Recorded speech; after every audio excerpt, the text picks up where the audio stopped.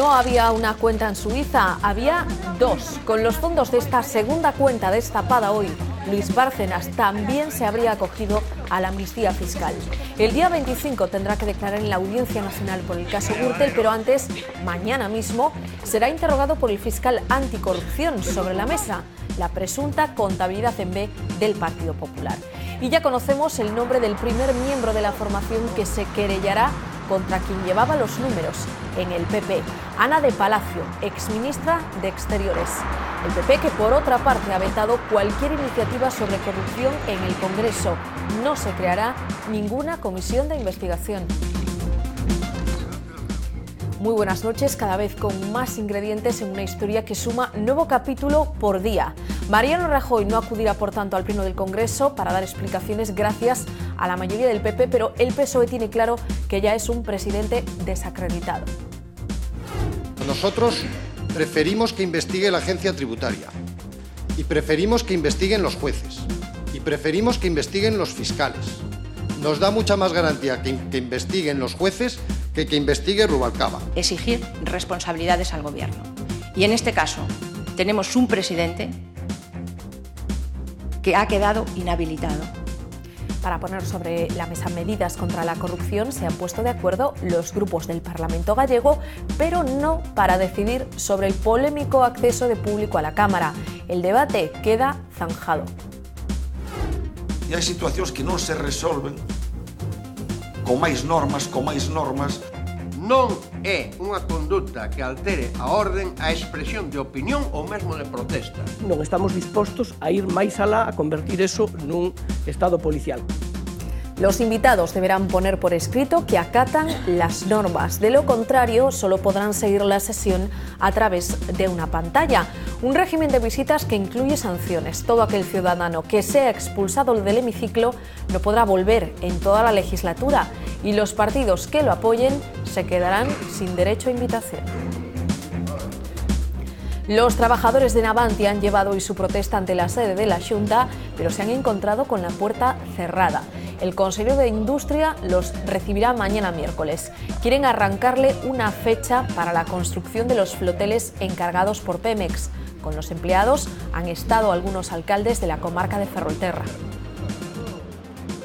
Este ano van a escapar da reparación na ría de Ferrol que non sepamos polo de agora como mínimo seis buques. Se si non somos capaces de darlle unha solución ao problema que ten a Avancia, desde logo a comarca de Ferrol morrerá. Muchas veces hemos hablado de la factura eléctrica y de lo complicada que resulta su lectura para los ciudadanos, pero este problema dobla su tamaño si los que la tienen que pagar son los ayuntamientos. Las administraciones locales gallegas denuncian abusos en la tarificación.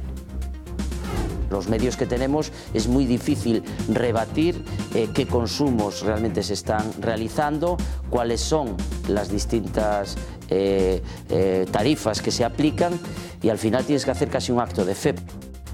Solo un ejemplo, en Ponte Caldelas, el retraso en la llegada de facturas ha puesto en peligro la liquidación del ayuntamiento. Para hacer frente a situaciones como esta, los afectados han decidido unir sus fuerzas. No descartan emprender acciones legales contra las compañías que suministran el servicio.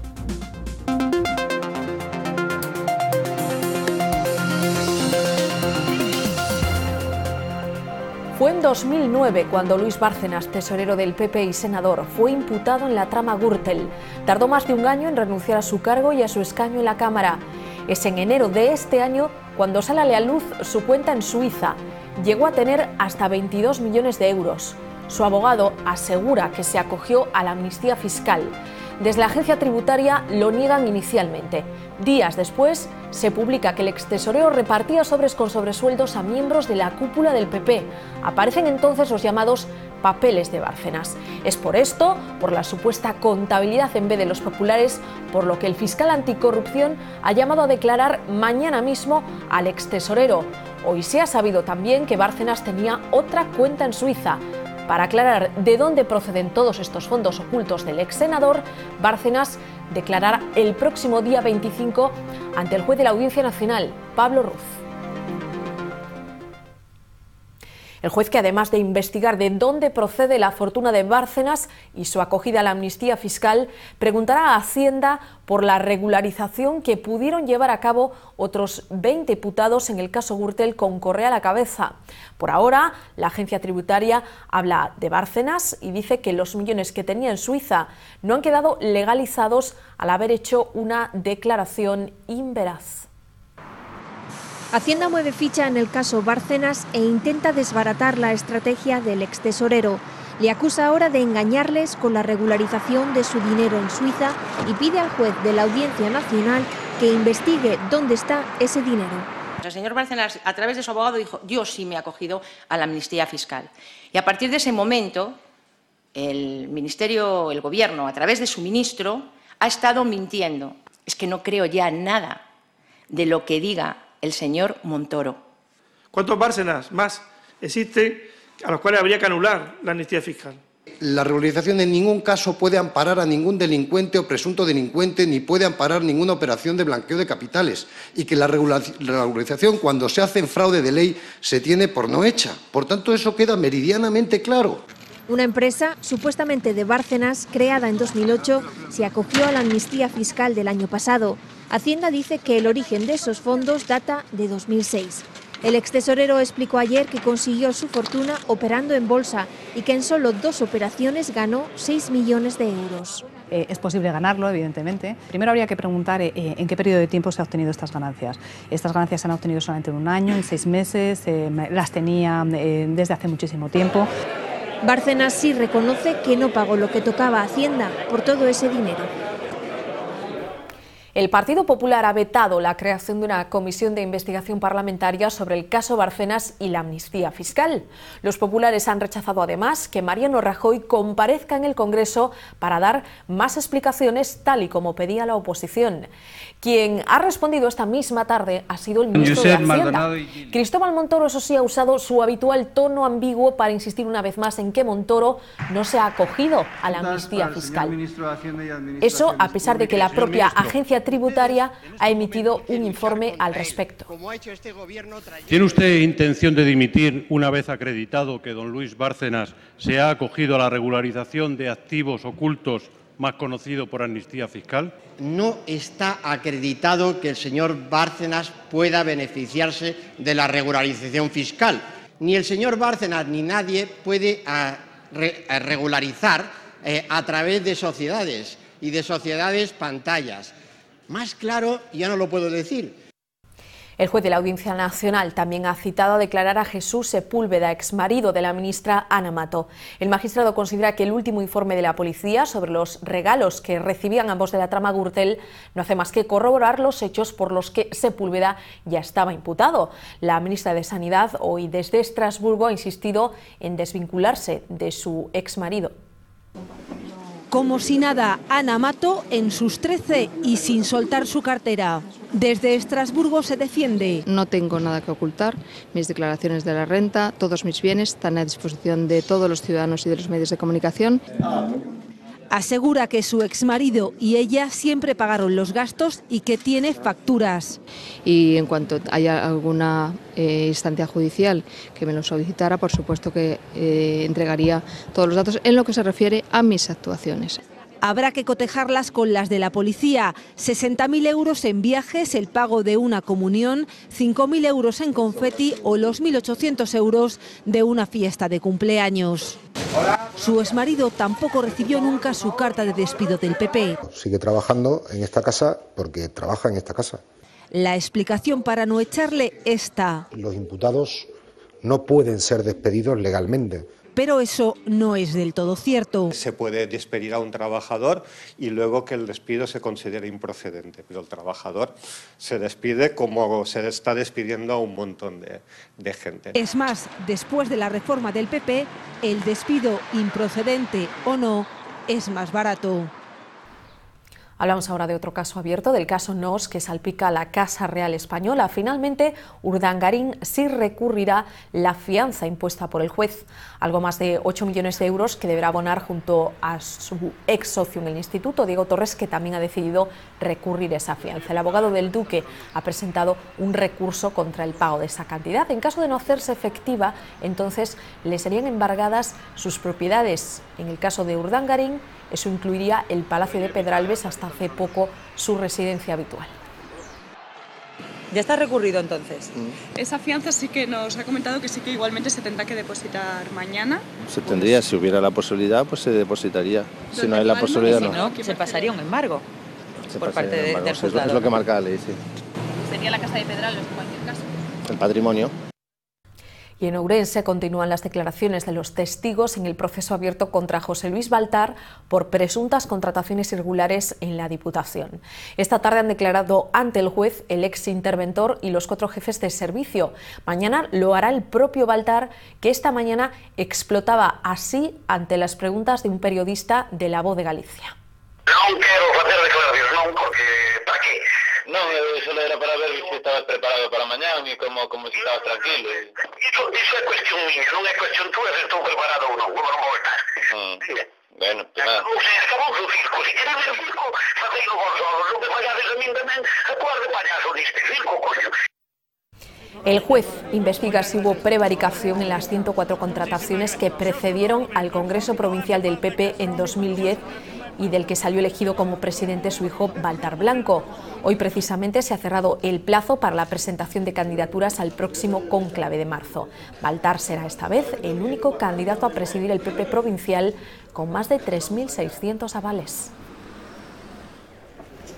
Y hoy el Parlamento gallego ha anunciado la creación de una comisión que se encargará de prevenir casos de corrupción, una iniciativa a propuesta de los socialistas respaldada por todos los grupos de la Cámara, PP, AGE y BNG.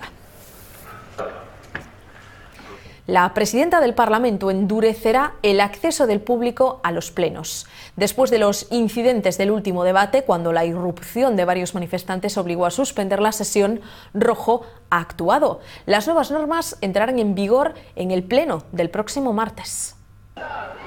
Los invitados al Parlamento deben firmar un compromiso de que acatan las normas de los plenos. Si no lo hacen, solo podrán seguir la sesión a través de una pantalla.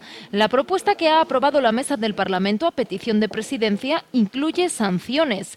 Los ciudadanos que sean expulsados no podrán acceder al hemiciclo durante toda la legislatura y los partidos que les invitaron se quedarán sin cupo en la siguiente sesión. Si reinciden, este cupo se eliminaría todo el periodo de sesiones.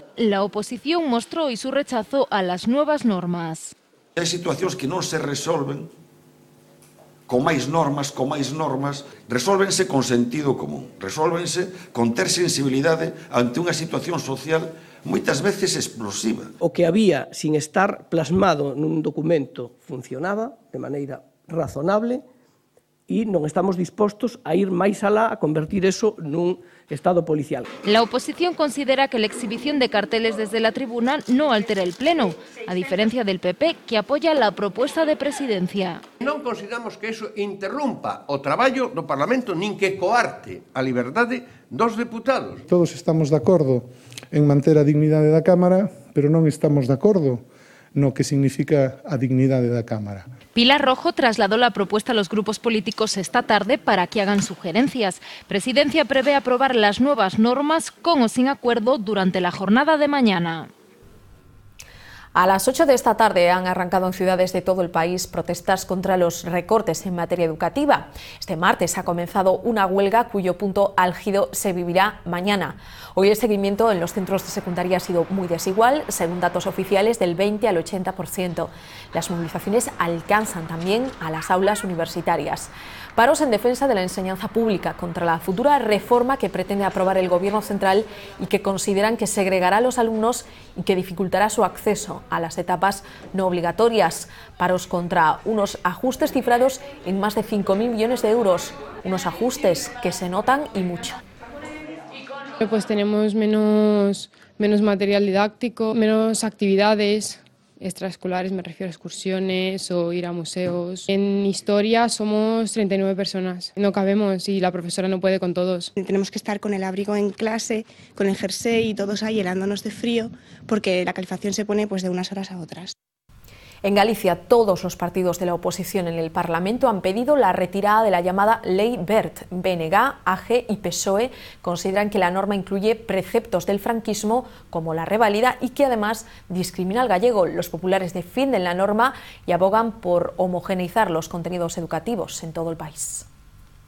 Unha lei totalmente oposta á calidade e tan só pretende trasladar ao ensino público un modelo neoliberal que afonda nas diferencias sociais. Se establece un ensino que favorece solamente os que xa teñen en orixen máis oportunidades e se condena os máis desfavorecidos a un calexón sin saída. Esta lei subvenciona os centros que segregan o alumnado por sexo, xerará conflictos das comunidades autónomas con lingua propia, deixará tirados a alumnos con dificultades de aprendizaxe, se busca reforzar as asignaturas instrumentales, matemáticas ou lenguaxe, onde sempre damos uns resultados pésimos nos índices PISA.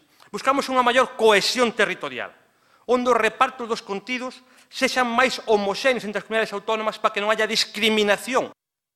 La justicia también irá a la huelga. Todas las asociaciones de jueces y fiscales, salvo dos, han convocado de manera conjunta una jornada de paro en el sector para el próximo día 20 de febrero en protesta por las últimas reformas aprobadas. La huelga llega después de muchas manifestaciones sin obtener una respuesta por parte de Ruiz Gallardón. Magistrados y abogados están en contra de las nuevas tasas judiciales, la reforma del Consejo General del Poder Judicial y los cambios en el registro civil. Los profesionales creen que se vulnera la independencia del sector.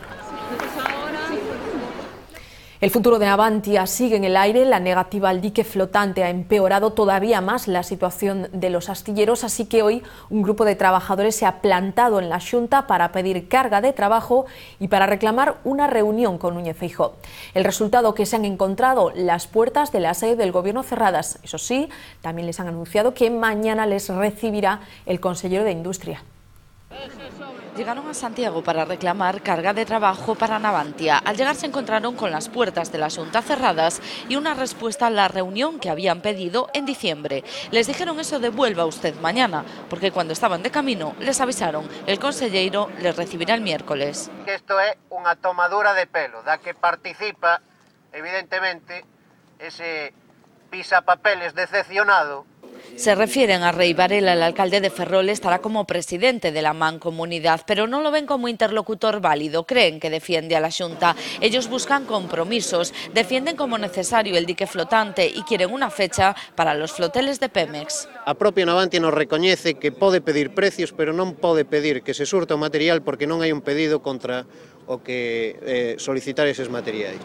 Con ellos algunos alcaldes de la comarca, San Sadurniño, Ares e Mugardos. Eu estou aquí para eh, reclamar carga de traballo a un esteleiro que sin él non podemos vivir. Pues para plantear la supervivencia de un sector vital del que dependen pues, 100.000 habitantes. Si non somos capaces de darlle unha solución ao problema que ten a Avantia, desde logo a comarca de Ferrol morrerá. Mañana a las doce y media les espera el consejero de Industria para buscar iniciativas para Navantia. Entender las facturas eléctricas no siempre resulta fácil, ni en nuestras casas ni en los ayuntamientos. Los alcaldes gallegos emprenden su particular cruzada contra los gigantes de la energía. Aseguran que están cometiendo abusos y las consecuencias van directas a las arcas municipales. Aseguran que están pagando de más.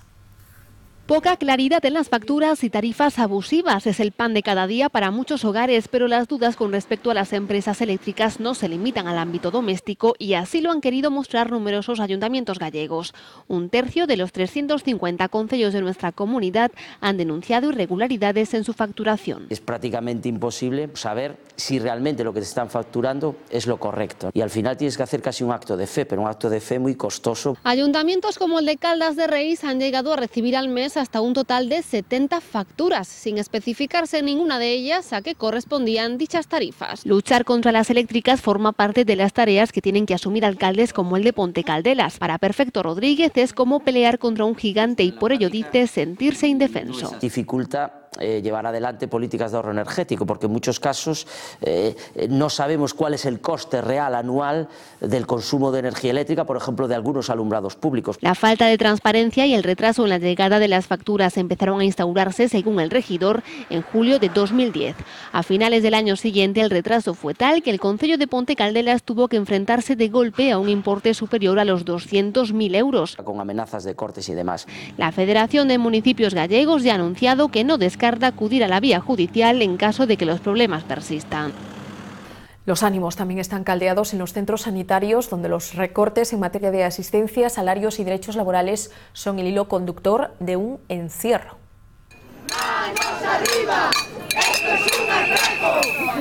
El que desde las 8 de esta mañana mantienen trabajadores del CHUAC, el Hospital Universitario de A Coruña, un encierro de 24 horas para denunciar la situación de la sanidad pública y de cuyo deterioro culpan, entre otros, al presidente de la Junta.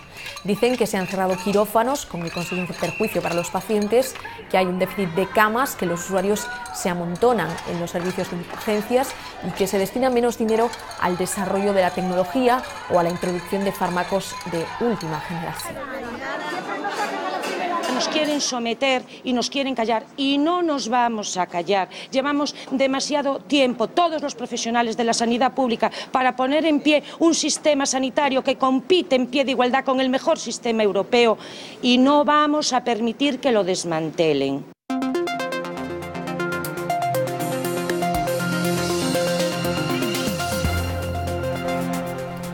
Un equipo especial de la policía mexicana investiga qué pasó este lunes en un bungalow de Acapulco, donde seis turistas españolas aseguran haber sido violadas por cinco hombres armados y encapuchados. Los hechos ocurrieron en Playa Bonfil, uno de los principales centros turísticos del país, pero también una zona con importantes problemas de seguridad. Parece ser que las víctimas fueron sorprendidas mientras dormían. Sus acompañantes habrían sido amarrados y amordazados con cables de cargador y bikinis. Se llevaron tabletas, cámaras de fotos, móviles, tarjetas de crédito y dinero en efectivo. El alcalde de Acapulco ha lamentado lo sucedido, pero ha asegurado que algo así puede pasar en cualquier parte del mundo. El Tribunal Supremo ha rechazado la posibilidad de que se vuelva a repetir el juicio por el caso Marta del Castillo, tal y como pedía la familia de la joven. Sin embargo, se ha ordenado dictar una nueva sentencia contra Samuel Benítez. El fallo aumentará además la pena de prisión para Miguel Carcaño, principal implicado en la desaparición y muerte de la chica en 2009 cuando ésta tenía 17 años. Más años de cárcel para Carcaño porque será condenado por un delito contra la integridad moral, por el sufrimiento que ha causado a los familiares de Marta. En Sevilla se cumplen ya nueve días de huelga de basuras y la situación comienza a ser insoportable. La justicia ha tenido que intervenir en el conflicto para dictar los servicios mínimos, que han sido elevados al 50%. Hasta ahora solo se recogían 100.000 toneladas de las 700.000 que se generaban cada jornada. Ayer plantilla y empresa pública comenzaban a negociar sin alcanzar de momento ningún acuerdo. Ampliación de jornada y reducción salarial son los dos caballos de batalla. Las calles de la capital andaluza acumulan 6.000 toneladas de desperdicios. Pues nada, no salí aquí a la terraza con las vistas que tengo, pues fíjate, estoy aquí clausurada como las monjas. Me han dicho que hay ratas y todo. Horrible, la verdad es que es horrible. El olor y bueno, y, y el riesgo que haya un incendio, un incendio o algo. Como no la arreglen pronto, eh, vamos a tener aquí contaminación a gran escala. Por ahora las bajas temperaturas dan una tregua a los sevillanos. Imagínense, con más calor la situación sería insostenible. Mientras tanto, aquí en Galicia, la alerta naranja en el mar continuará en las próximas horas. Hoy solo se han salvado del intenso oleaje las Rías Baixas. Mañana miércoles se espera que tanto en el Cantábrico como en el Atlántico las olas oscilen entre los 4 y los 7 metros. Volverán a bajar las temperaturas y de la mano del frío llegará la nieve. Se verá a partir de los 800 metros. Uno de cada cuatro conductores desconoce los elementos de seguridad de su propio coche. Y eso que para el 75% esos elementos son básicos a la hora de elegir un vehículo u otro. Las mujeres y los mayores de 50 años son los menos ávidos en esta materia. El sistema ISOFIX, que no es otro que el anclaje de las sillas infantiles, es el más desconocido. Le sigue muy de cerca el sistema precolisión. En el lado contrario, los dispositivos más familiares son los airbags, el limitador de velocidad y el sistema de frenos, el ABS. El cinturón de seguridad es valorado como primordial por la mayoría de conductores. Entre lo nuevo que llega en materia de seguridad sobre cuatro ruedas, el sistema de detección de ángulos muertos, el de precolisión o el de aviso de cambio de carril. Cuanto mayor uso, no, más que uso, buen uso se haga de ellos. Mayor utilidad, cuanta mayor tecnología se compre, lógicamente podremos reducir indirectamente la siniestralidad. Pero bueno, que además de la tecnología del vehículo siempre va a depender de la conducta que tenga el conductor. El piloto Luis Moya hizo hoy de guía para los alumnos de FP que visitaron la ITV situada en el polígono coruñés de Espíritu Santo. Sin duda la presencia del campeón mundial de rallies supuso un ingrediente motivador para todos ellos. El gallego aprovechó para darles algunos consejos. Espíritu deportivo y de superación, tesón, perfeccionamiento y entrenamiento fundamentales, dijo, para abrirse camino en el terreno laboral. Los principios del deporte aplicados al mundo de la empresa de seguridad, pero en este caso sobre dos ruedas les hablamos ahora. Aseguro que muchos ciclistas se sentirán identificados con la situación que ha denunciado un joven subiendo a internet este vídeo que van a ver y que ya tiene miles de visitas.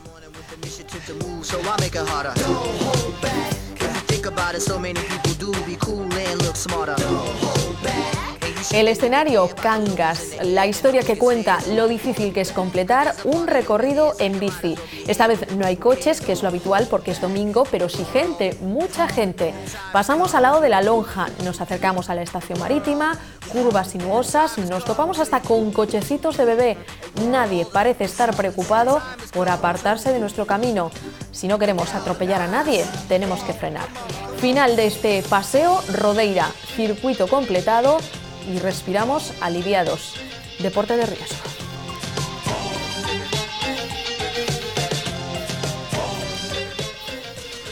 Nos vamos yendo, se quedan ahora con historias del tiempo y justo después el debate de la jornada en Vía V. Hasta mañana.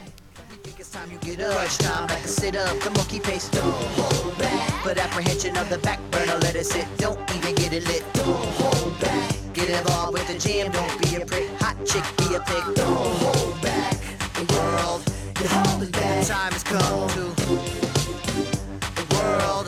You're holding back. Time has come to a world. You're holding back. The time has come